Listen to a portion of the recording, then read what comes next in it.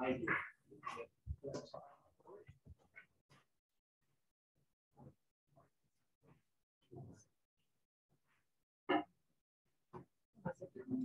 No. Oh. Oh, good.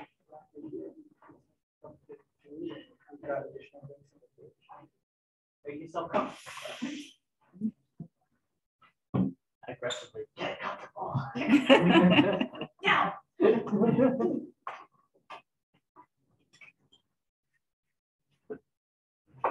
So we're ready to start whenever, All right. whenever you are. So All right, just want to make sure everybody was seated and ready to go. Well, good evening. I'm Erica Kaler. I work at Ally Financial and um, Sam asked me to give this presentation because at my last job, I used to actually run an entire Scrum team off of a Trello board. Or more accurately, several Trello boards. But we'll talk about that in a minute.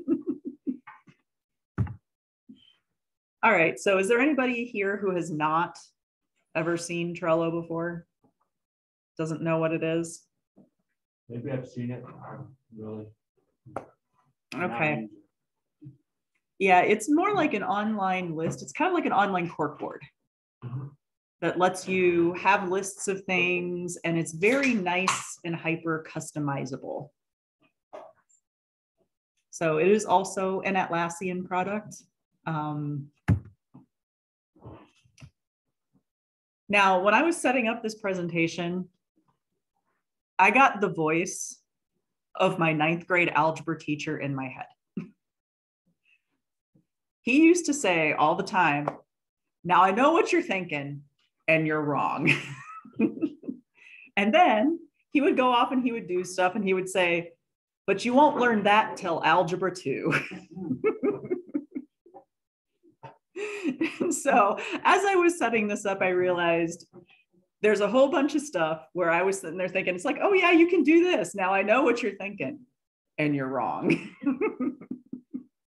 and then there will be a few things that I'll tell you where I'm like, I'm not going to go into every single detail because there's a lot of features out there, and some of them are only available if you have a paid version of Trello. So I'll tell you when you won't learn that till Algebra 2. Sam warns us about that kind of stuff too. And sometimes you have to have the paid version. when you have Right, stuff. right. So I'm going to try to avoid stuff that you only get when you're in the paid versions, uh, partially because I don't have a paid version. so I can't really show you things I can't access. Um, but there are additional features. I just want you to know that I can't show you at this time. So, um, so the first, now I know what you're thinking is what do I need another list app for? It's not like there aren't half of a dozen of these out there. Um, Trello has a sweet spot. Trello is perfect if you've got a project that is too large for a spreadsheet, but too small for a database. If it's not worth the trouble of setting up a database, but that spreadsheet's getting way too complex and it's not really helping out as much as you'd like, that is where your Trello sweet spot hits.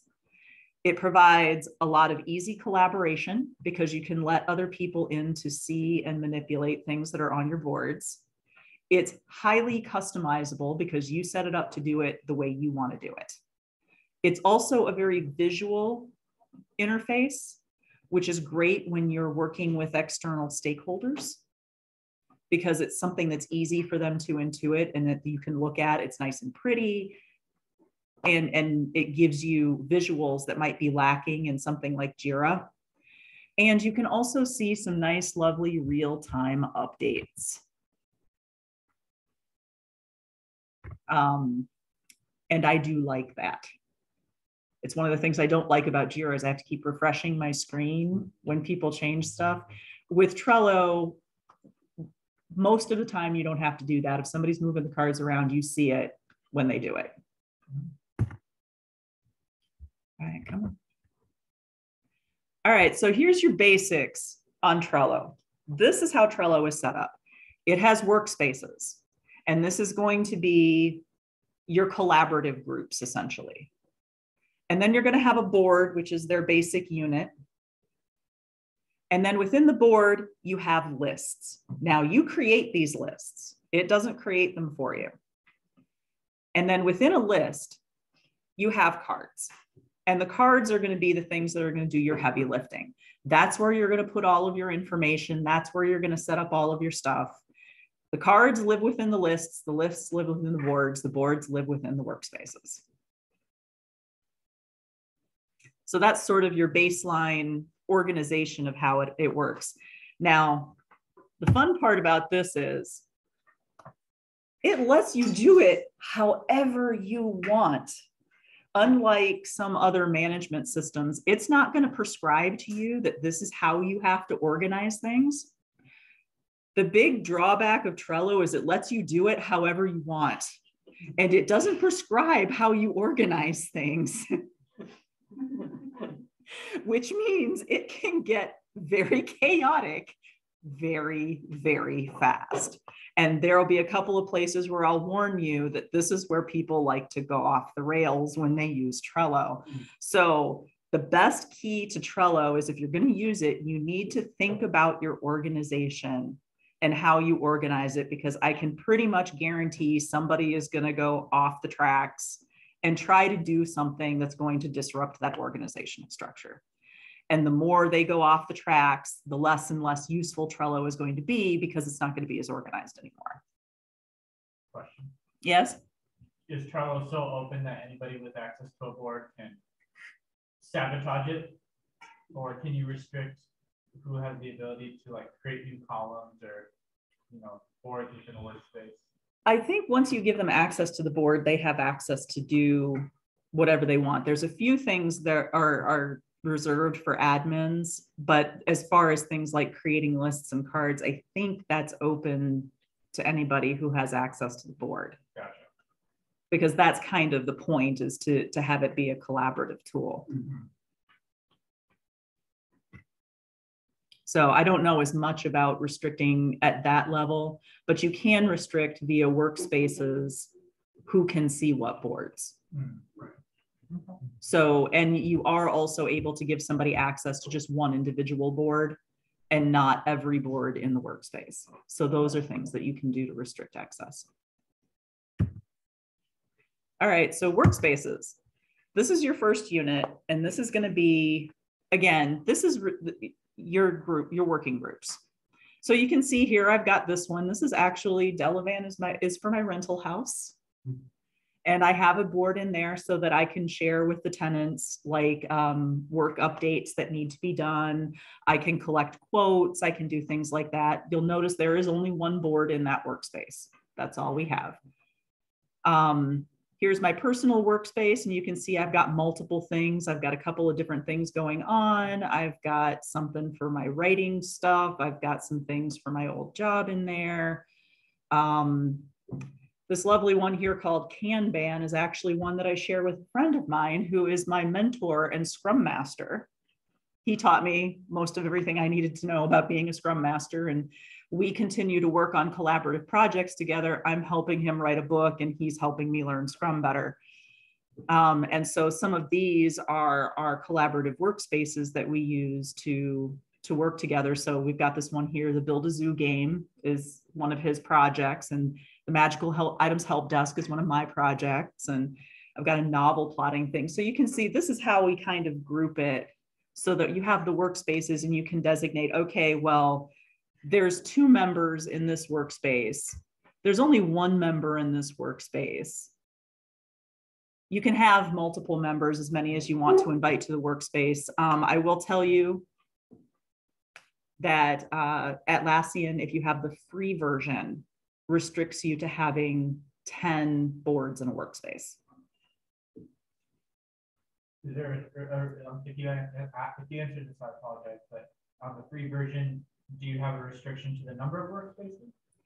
I do not know. I have not hit a restriction on that. Oh, okay. Um, but it does restrict the number that you're allowed to have in a particular workspace. So your, for your rental house, how do, you- how do the- your tenants access it? I mean, they have to have their own, Yeah, they have their own login to it and they can go into it. Um, and view it. Now I can send out an invitation to anybody I want to their email. And it'll ask them if they want to set up an account to go see the, to go see the board. So they don't have to have a pre-existing account for that, but they will have to have an account to get into it. Okay, so I guess, like I said, I don't, don't you, how do I say, I've never seen Trello before. How do I get, how do I bring it up? Do I have to download something on my computer? No, it's entirely web-based. Okay, It's entirely web-based. Hmm. It's Trello.com. okay. Yeah. And it's mobile. And it does have a mobile app as well. And I do use it on the mobile app, in fact. Okay. So, and again, it's just, it's, it's really good for, I use it a lot for personal projects. I will tell you, one of the things I'm going to be showing you is for my podcast. I actually have a Trello board to help manage my podcast. And like I said, I'm helping to, to manage my rental house. And it's a really easy way for me to sort of collect issues that need to be dealt with, to collect quotes on getting work done, uh, to sort of keep a running list of maintenance items, that kind of thing. So like I said, bigger than a spreadsheet, smaller than a database. The projects are great for that. All right. Basics on boards. So ideally, a board is going to be one project or one overall grouping of something. Like you'll notice I had one called training inventory. That was my inventory thing where things kind of shifted around a lot. So I kept it on a Trello board. Uh, a daily scrum board or a Kanban board are great uses for Trello. Um, my podcast production board, I use it to write books. Um, I, I'm allowed, I can keep files on there. I can rearrange the order of things. Uh, I can do plotting because it's a much more visual interface. So like I said, um, I even have seen people uh, keep recipes. Like each card is a recipe, and then they can mm-hmm. have the lists would divide it up to be like, these are chicken recipes, these are beef recipes, these are vegetarian recipes. so, I mean, you can use it for a lot of different things like that. All right, here is where I'm going to go and kind of show you.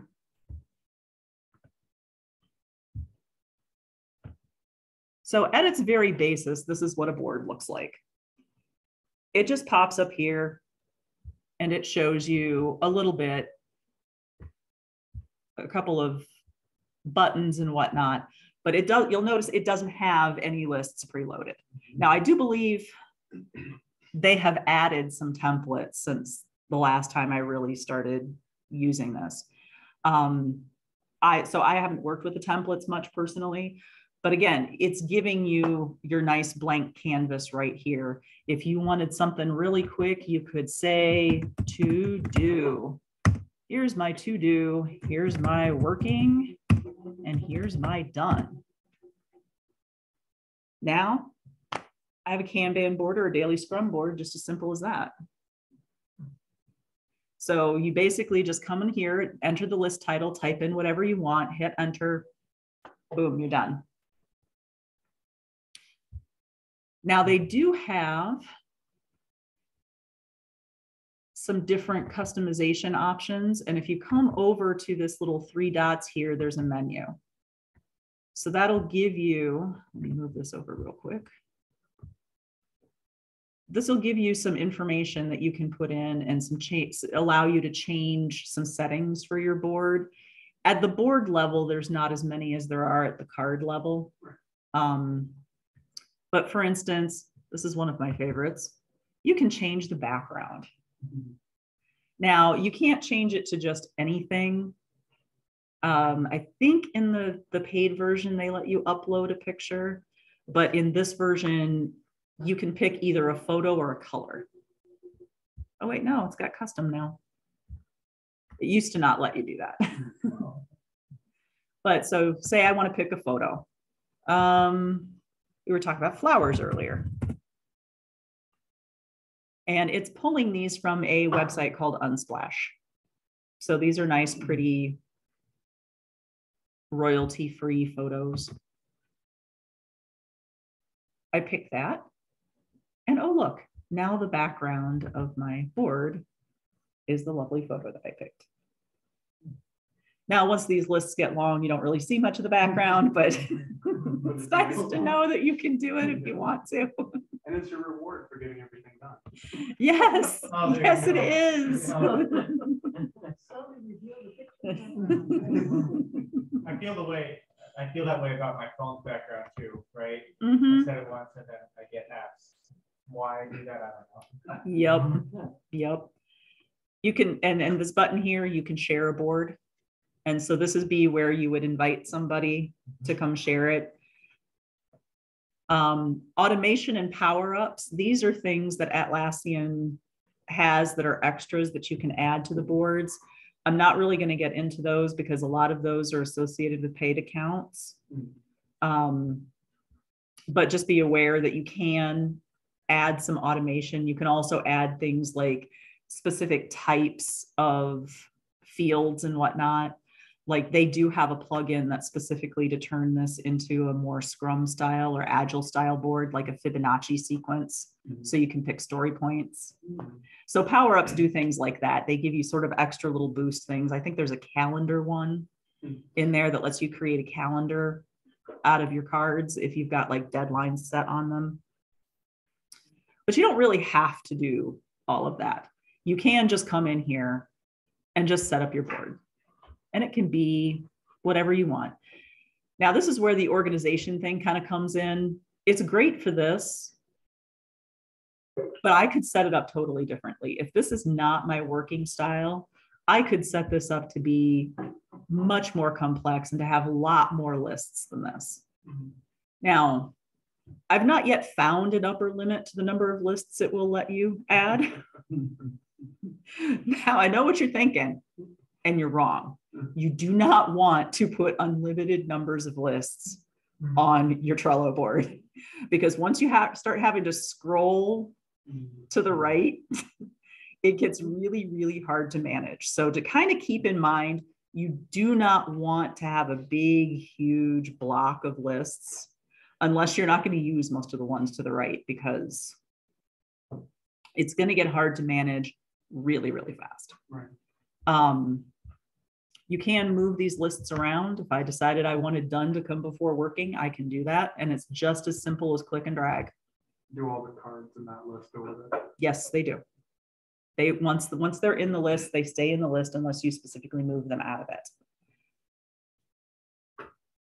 So you can have uh, all these different ones. If I wanted to say, um, or it's that simple. So does anybody have any more questions about lists or anything like that before we? No, just uh, the observation that speaks to um, how lean this is, is that everything you're doing, like say in the background, you didn't have to go into config dialog and submit it and have it update. You do that in real time and the list movement is in real time. Mhm. Whereas like, and not, not in a negative comparison to Jira, because Jira is heavier, heavier weight, but if I was managing a board and I wanted to make a new list, I'd have to go into configuration, set up the new list, Mhm, potentially associate statuses, mhm. save it and get back. Or you just did a quick list for this. Mhm, Exactly. And the same thing, if I was on this board with somebody else and somebody else moved the publish list, Mhm. I would see that happen as it happened. Right. Now, the, the only caveat to that is if somebody is updating the text in a card, you won't see that happen real time. You won't see that until you close the card and open it again after they're done. Yeah. But if they move the card from one list to another, you'll see that in real time. Which is one of the things that makes it a really nice way to collaborate because as people are moving things around, you're seeing that all happen. And it's not, you're not having to wait. There's not a delay for that, which sometimes is annoying when you're in Jira because it's like, oh, I just fixed this. Refresh, refresh, refresh. With this, there's a lot less of that that goes on. Yeah, a lot less toe stepping, a lot of, I want to move into the status, you can't do that anymore, it's a new Mhm. status and you didn't know. And it'll indicate who's actually, when somebody's in there working on it, so you can easily see that somebody's in the process of. No, it does not do that. Okay, so I wasn't sure, like, how does it wait to make sure, No, once you open the card, you'll see what was there when you opened it. right? Um, but if somebody else is updating the card while you're updating it, you're not gonna see their changes until you close it and reopen it. Okay, so it's still possible to step on toes, but you just try to be careful. Yeah, well, it's, it's a, it, it, it'll let you know if you're stepping on the toe, because it'll tell you you can't update the card because somebody else has got it open. Okay, Okay. that's good. So, so it does do that. All right, so we did kind of talk about lists. And so for me, just to sort of, because I'm an organizational freak, lists should be all apples or all oranges. Do not mix your apples and your oranges. Um, that's one of the ways that people start messing up the boards is if you have lists, those lists should be all sort of at the same level. So like in Agile, the list level is great for epics. The list level is also great for features. Please do not have a list of epic and a list of feature unless you have some really, really good way of denoting that because it's going to make it a lot more confusing for people who are trying to use it. So like I said, it, if you, if you're mixing your organizational levels at the list level, you're going to start running into problems keeping it organized. In Kanban, I showed you there were the status columns. Um, make your list names make sense. And the other thing that I wanted to warn you about is you cannot delete things on Trello. You can only archive them. Quick question. Mhm. After you archive it, it does give you the option now to delete. Yeah, you can, but you, you have to deliberately go in. If you are looking to try to delete it, it's not going to let you. It's going to ask you to archive it. So you have to archive it first and then go in. And you're going to do that here in your, in your menu is you're going to have to go into the archives and delete things. So just if you're looking, and I know this because I did look. if you're looking to delete a card or a list, it's not going to let you. You're going to have to archive it first. Question about previous common demand. You're talking about uh, organization regarding features and epics, Mhm. how you don't want to fix it two. How would you approach that exact issue? Yeah, would you use like two different boards? No, I will show you in a minute. Oh. Thank you. I will show you in a minute. There is a way that I like to do this, but you have to kind of get down to the card level to see how I do it. Okay. Um, now, again, you can do it other ways if you like.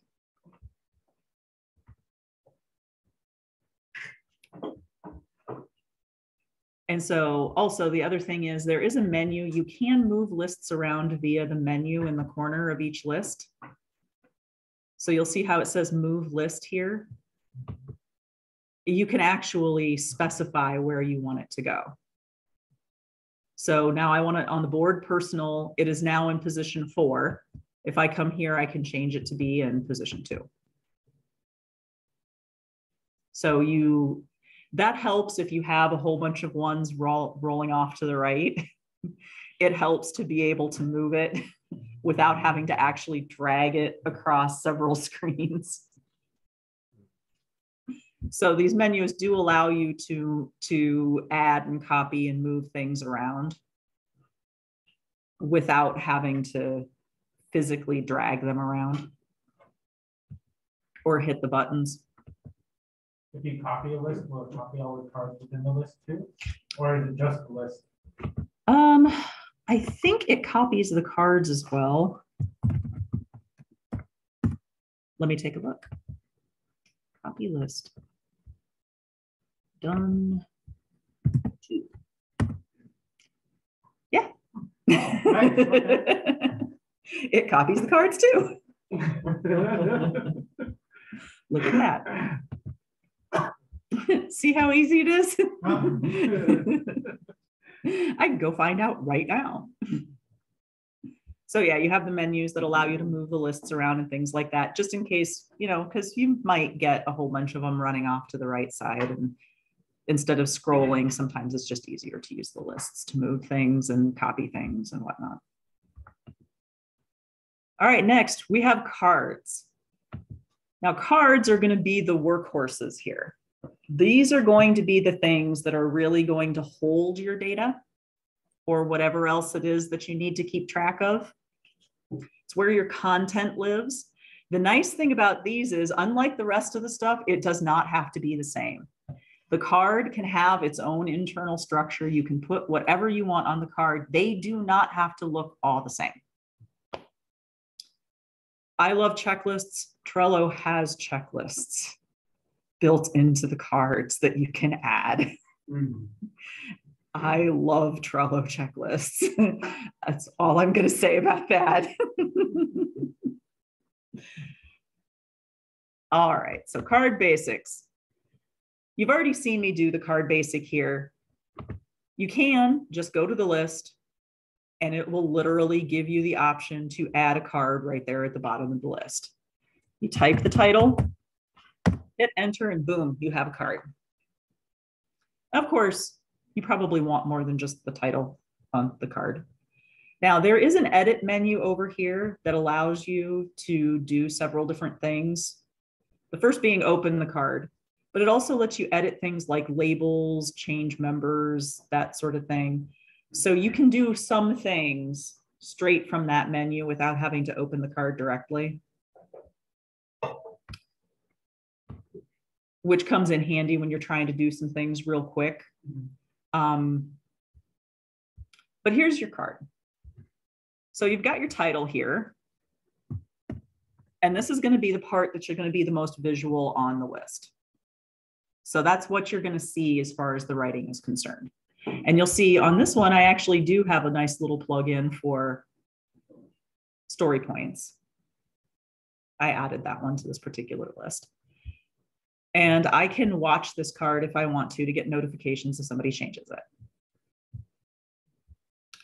The description is going to be something that's default on all the cards.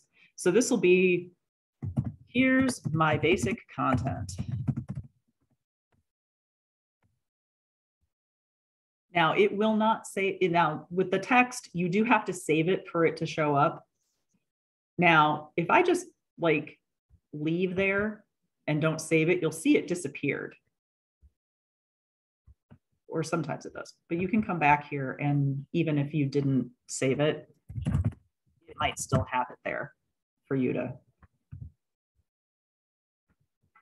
for you to pull up. So I can save it there and oh, look, now I have my basic content. It's gonna give you this, this is an activity log. These are your comments. People can add comments. Um, it has some of the same basic features as Jira, like you can at somebody or something like that. Um, but over here in this add to card is where you can do a whole bunch of fun extras. Members, I can go in here and literally search for somebody who has a Jira, who has a Jira account or who's on this board, and I can add them. Like, oh, look, now it's assigned to me. and you can add as many people as you want. So this is a fantastic way of keeping track because one of the things that you can do at the board level is you can actually filter by this. Hmm. So you can filter your board so you only see the cards that have those members on them. There's other filter features as well, but that one's a very useful one. So especially if you're doing like a scrum board or something, I just want to see all the cards that are assigned to me. Well, there's a filter for that. And this is how you designate which members are on the card. I used this a lot in my previous life because they designed training. So they were very often doing that in groups of two to four people. So we could actually, and unlike Jira, which only lets you put like one person on the card, this one I could actually put as many people as I wanted and say, okay, you're all assigned to this card. Labels. This is where you can actually create little designations. They show up as little colored tiles. So you can kind of keep track in a second dimension. Now I know what you're thinking, and you are wrong. You cannot simply run rampant with these because this is part number two where people mess up their JIRA organization. The first part is there's a limited number of colors that you have available for labels. So if you pick something to, to label for that has too many variables, pretty soon you're going to be start reusing your colors, which is going to defeat the purpose of having it as a quick reference. Uh, the second problem that you're going to run into is that people try to use these labels to denote multiple different types of things. And it starts to get very, very confusing when a label could mean this is the topic, it could mean this is the deadline, it could mean this is um, the type of deliverable we're creating. Like if you start mixing what those labels denote, they very quickly start to lose meaning. And so that is part number two of how people mess up their Trello organization. Be very careful how you're using labels. They are wonderful because you can, in point of fact, see very quickly at a glance what category something falls into, and it lets you customize these labels however you want.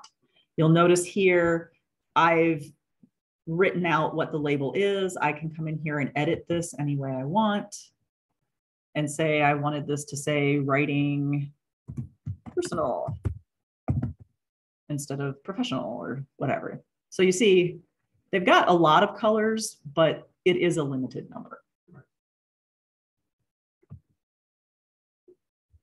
But you don't have a limit on the number of labels you can have in the board. Not that I have encountered. And So you just run, it's like you said earlier, you run the risk of repeating. colors. Yes, Yeah. Yes. If you have too many, you will repeat colors and then it, you start to lose the purpose of having a color. But you'll see that now, when I've closed it, that label is actually showing up on here. Now, if I click this, it will show it so it's only the color. And if I click it again, it'll expand it so I see the color and whatever I wrote. So that is helpful depending on what sort of view you like best. And again, depending on what you're denoting, you could have multiple colors on there, but too many labels, too much mixing, and all of a sudden the colors just sort of blend together and it doesn't really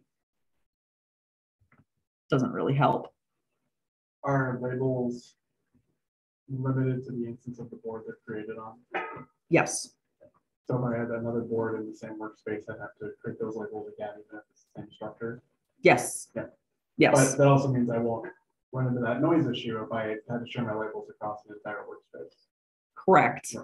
Correct. Yeah, you you can you'd have to recreate the labels, but But that's part of the hyper customization again. If you have one board and you want the labels to mean one thing and another board and you want the labels to mean something else, even if they're within the same workspace, they they can mean two different things. Think that's, that's a good way to do it. Yeah. So like I said, just be careful when you're using the labels that you have a pretty good understanding of what you're using them for. Or otherwise they start to cascade and now you've got labels all over the place and the colors stop meaning anything. They also, I believe, have a colorblind feature for these as well. Yeah, on the label dialog. Mhm. So I don't have it activated, but if you are colorblind, you could still use the labels because they do have a colorblind mode. The next is my favorite. It is a checklist. I give it a name.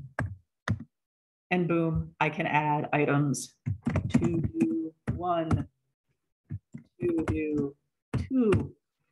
And then it gives me a little thing where I can check it off. It even has options over here, like setting deadlines for specific to-do items, assigning members to the specific to-do items. I can convert one to its own card if I discover that it's just too big, Like promoting a subtask. off of the- like promoting a subtask. And I can delete it if I don't need it. This one, it will let you delete, and not just archive. These are wonderful because I find that especially within the agile sense, I can come up here in the description. I can put in things like my user story, my acceptance criteria, And then I can actually have a separate list of tasks of things that I have to do that I can check off. I could add another one if I wanted my acceptance criteria to be its own separate checklist. So there, it doesn't have to be just one checklist. I can have multiple checklists. Really cool. If I really, really want multiple checklists, I can have. Your implementation checklist and your test. Mhm. Now, These checklists, could you, for example, and I know this is algebra two, mm-hmm. but could you set up an automation that when the checklist is finished, it moves it automatically? Is that, I believe that is actually one of the things that's part of their automation process, is that if you do a certain thing, like get to the end of the checklist, it will automatically do whatever you program it to do. Again, you won't learn that till algebra two, but Possibly algebra. algebra three, I believe, is called uh, not trigonometry, I I would say. calculus. pre-calculus, I think. Yeah, you won't learn that till pre-calculus. But yes, I, I believe it, it does have automation and it does do certain things like that. I don't know if it ties directly to a checklist, but I suspect that it does. So you can have multiple checklists. I love that. You can set due dates and reminders for those due dates. And this is a standard thing. This is not like their calendar features or anything like that. It's your standard due dates. If I want this to be due, say, next week. Boom, there you go. There's my due date. Now you can check it off when it's done. How does that reminder manifest? Um, Email that counts, email, I believe that there is a setting for that. I haven't used it. that's fine. Um, because it also changes color on the board itself. Mm. I think it emails it to people, but it also will change color here the closer you get to that deadline. So if that deadline were today, it would highlight it in a different color. And if you're past the deadline, then it highlights it again in a different color so that you know that you totally missed your deadline. And if I check it off, you'll see it now is marked as complete.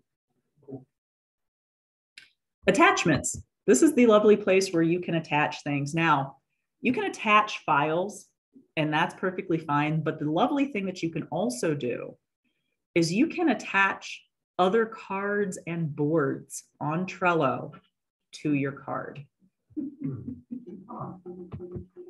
So here, as you can see, you've got the card or board to add, and it's giving me a list of other cards and boards that I already have. So here's some cards, and this, I can search for them, but it kind of defaults to sort of the last ones you touched. So if I wanted to attach my writing template to this card, you can see now it's got a link to that card. And if I hit connect cards, what it'll do is it'll take, it'll go to that other card and it will also put a link to this card on the other card. Mm. So it does not automatically do it on the other card, but if you hit connect cards, it will relate them both. And that allows me to actually toggle back and forth. So now you can see I'm on my other board looking at my other card. Mm. So that is a fantastic feature, especially when you're trying to rel- when you're trying to use Trello in a more complex way. Right. Is it allows you very quickly and easily to go back and forth between different boards. So that way I could say have my daily scrum board with just what we're working on right now, but all of those cards are related to cards that are on a board that's specific to a different project. Mm-hmm. So if I had five projects running, I could have a board for each toggle back and forth between there and not have to recreate the cards on two separate boards. I can just click the button, relate them, and then they go back and forth. Everything stays in one spot, but I don't have to worry about people not being able to find it. You can do the same thing with a whole separate board. This one is a card in particular. If I just wanted to link to the board, it also allows me to do that. Like that it opened it right at the card level too. Mhm. Mm-hmm. So like I said, it'll let you do links, it'll let you do files. Um, I said I was helping a friend of mine write a book And he was uploading his chapters directly onto the Trello cards, just dropping a Word document right there on the Trello card and saying, hey, go take a look at this. And I could go in and I could read it and I could leave him critiques and comments right on the card. And he would always have a running list of what I'd said. Or if I did it in a Word document, I could upload a new Word document, and said, here's your, here's your critiques. So like I said, it's giving you a lot of flexibility in how you want to work with each other and how you want to, to, to categorize and deal with that information. It also, as you'll notice, does things like OneDrive and Dropbox or Google Drive.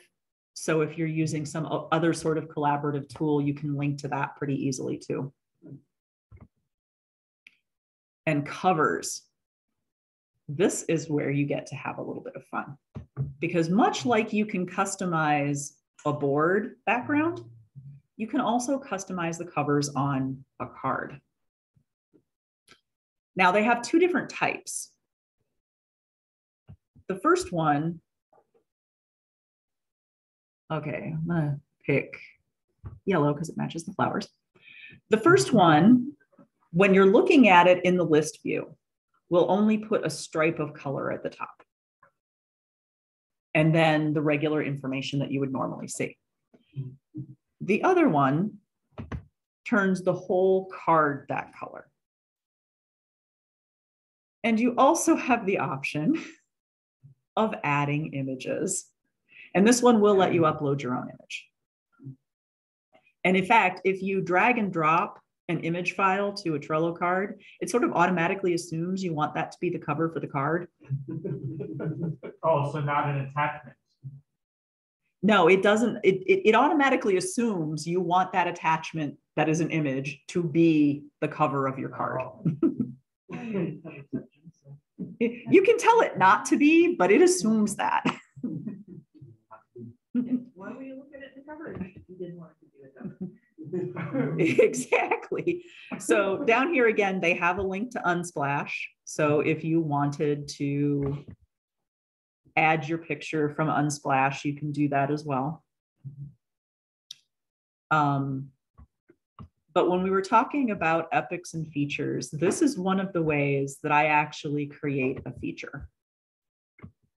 So you'll see here, I've got this, you can just change it so that it's got a background cover color. And then just put in a single card that's the name of your feature. So I could change this one to say this is feature one.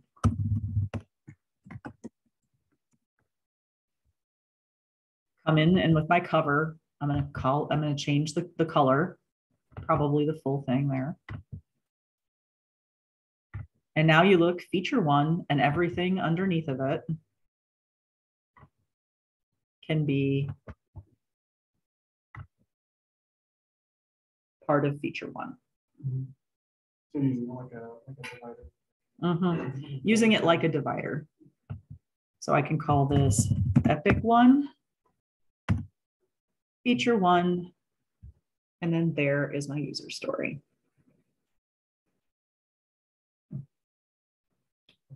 And I have found that this cover thing is also very nice if you're working with stakeholders, if you have some very visual things going on, because it makes it very instantaneously easy to see what's what's good and, and like what's differentiated. Yeah.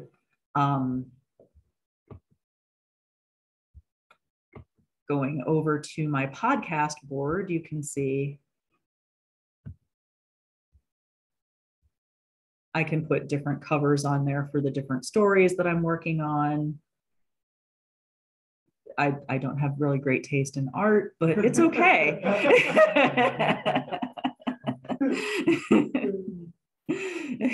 but as you can see, I've got here, here's my posting schedule. And this is where I've denoted what my little labels mean. So this is an easy reference for me and it's got all of my dates and stuff on here. Here's my in progress list. And I have some, you know, here's a template down here. So this is where it comes in handy that my mm. cards don't all have to look the same because here's my episodes, but here's my template that I can use to copy things into.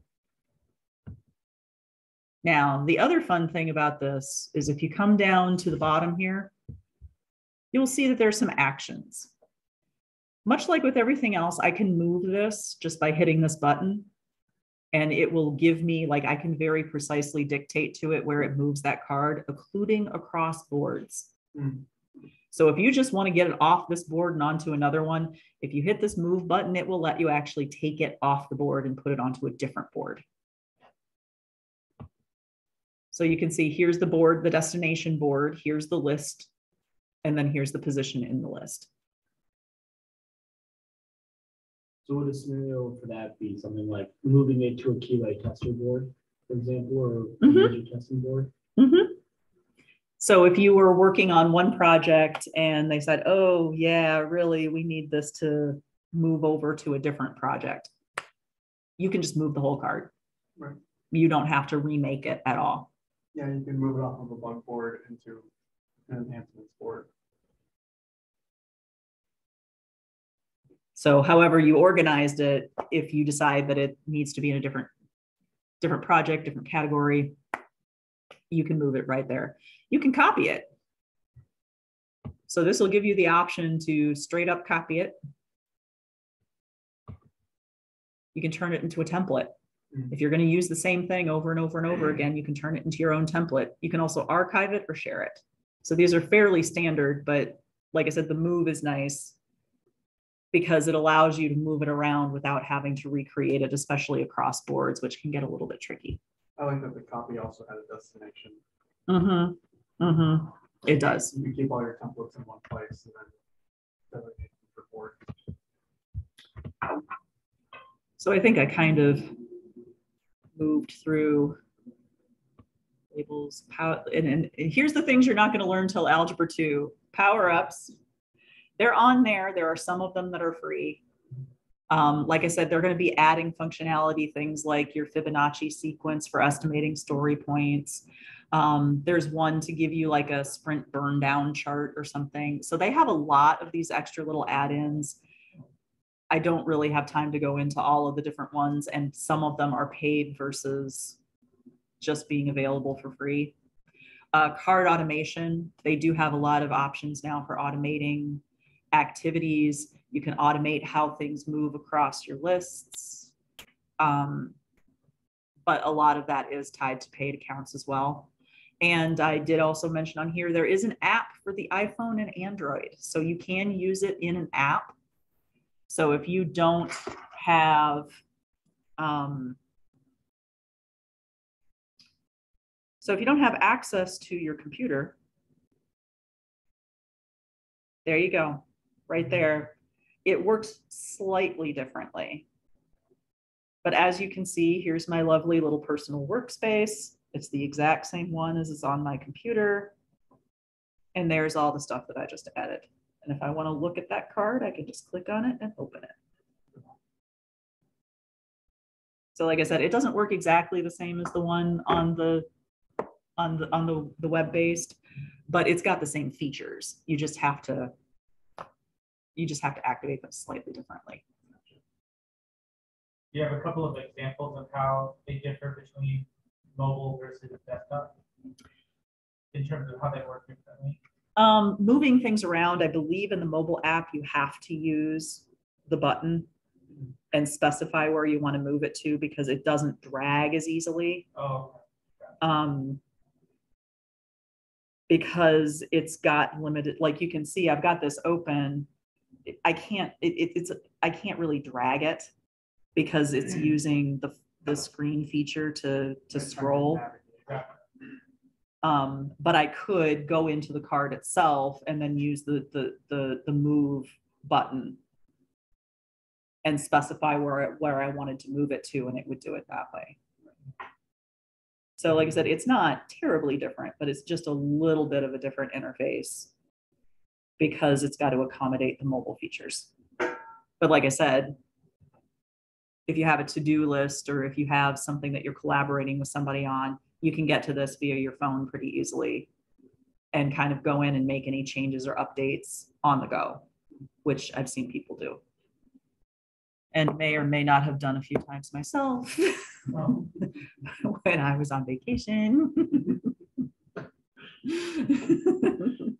Another question, Yes, when you're closing out work on your Trello board, is the understanding that you just drag it to a done list and it, it'll live there forever until you delete it, or is there some sort of cleanup utility that happens, like after two weeks or a month, if no updates have occurred, like? I believe you could automate a cleanup, but it does not inherently do so. Okay, So like, for instance, if I wanted, like, I'm gonna go to my other board here because I kind of I was a history major in college, so like, I don't like to delete anything. But as you can see, going over here, I'm on season three of my podcast. You can see I have season one and season two where I just moved all of the cards over to their own list. And they're just gonna kind of live there.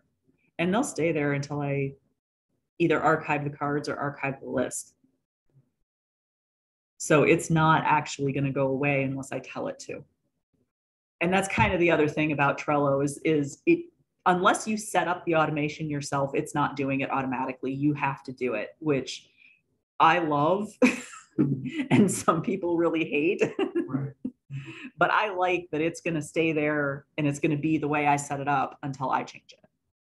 So like I said, season one's not gonna automatically delete itself unless I set up automation to tell it to automatically delete itself.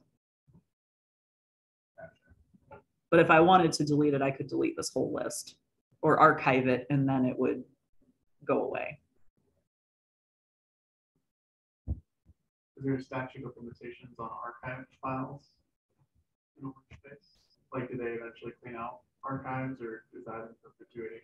Uh, that I don't know. I haven't actually gone in and tried to unarchive something that was older than about six months. Mm. So That's fair. I'm assuming at some point they do. Yeah. Um, but it's not something that I've actually run into. All right, did you have any other questions? I know I'm hitting right about the time there. Did anybody have any other questions or anything that you wanted to cover that I didn't cover?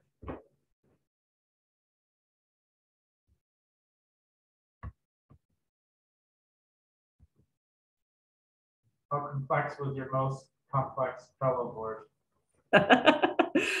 um, Yeah. well,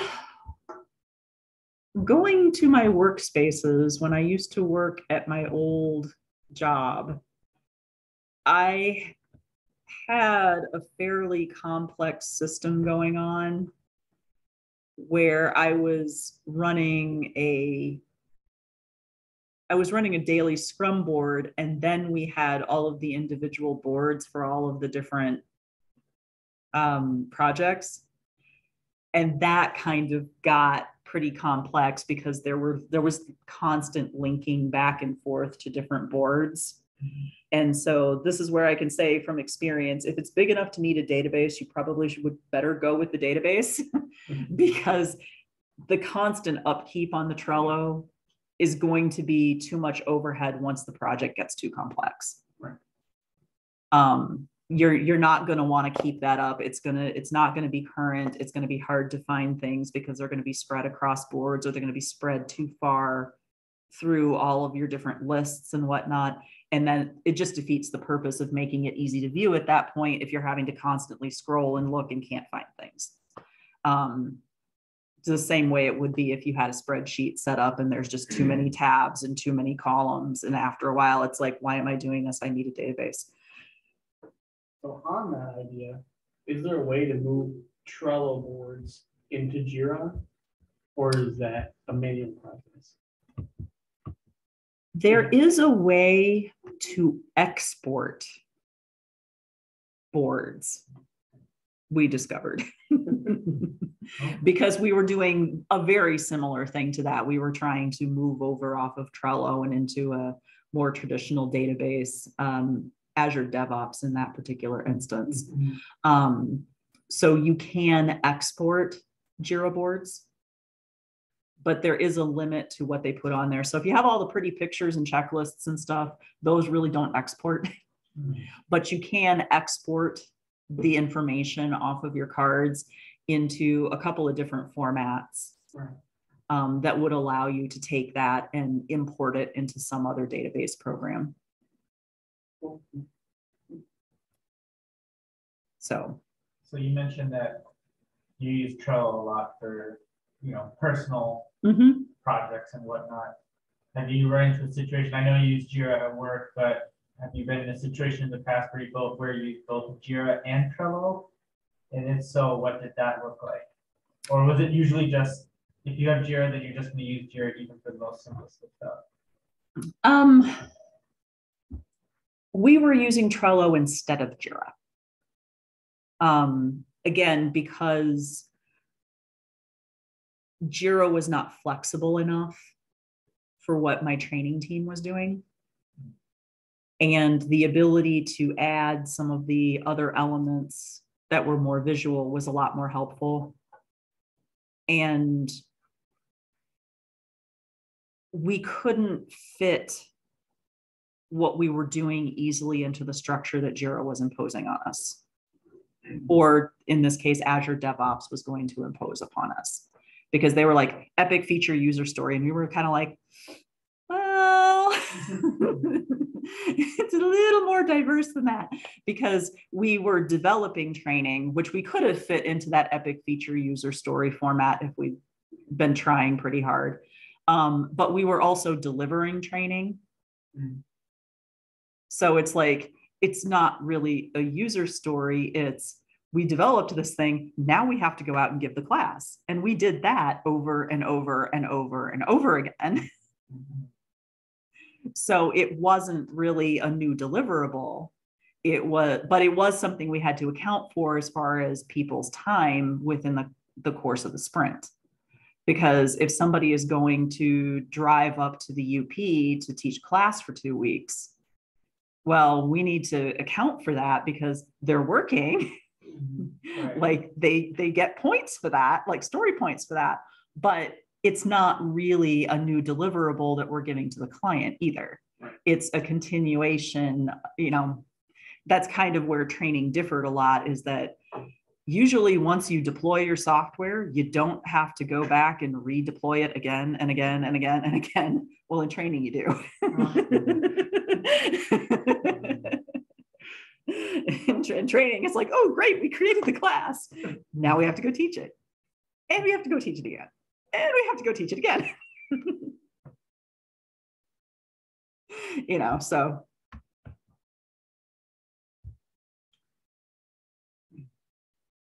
Anything else? Questions, comments? Random trivia? What's the name of your podcast? Is called Tales from Mortimer Poe. And it's just short stories that I wrote. And I just read them. Because I enjoy that sort of thing. Well, if we're doing random plugs, I just got uh, published in this book called Never Too Old to Save the World. Mhm. And the story that I wrote is the very first one called Lean In, the Lord of Hell is Coming. Oh, wow. Okay.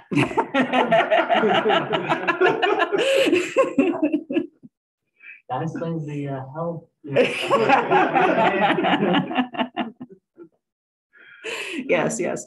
I believe the name of this story was Hell is Where the Heart Is.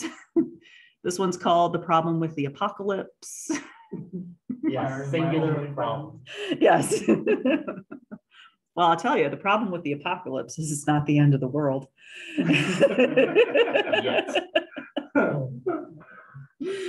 so, yeah, yeah, these are just some of my weird podcast titles. Love it. Very well done, thank you. Yeah, thank All you. right, thank Really the Trello expert. hey, this is just the basics. I just skimmed the surface, but it's enough. The, the other thing I really like about Trello is it doesn't require a lot of effort to get up and running. Yeah. And most people take to it pretty intuitively. So if you're dealing with somebody who's not going to want to deal with the structure of Jira or another database program, Trello is a great alternative because again, it's going to be highly visual. Most of it's pretty intuitive. Um, it's got an app, so people don't have to have a special knowledge or download or something to make it work. And it's great with communicating with people outside of your organization as well, so that they can come in and see. It's like, oh, I've got a mock-up of a brochure. Well, you just stick it in Trello. They can go in and open the card and look at it and leave a comment. And it operates a lot like Jira, except that you didn't have to have them go through the overhead of like knowing how to use it. Mm-hmm.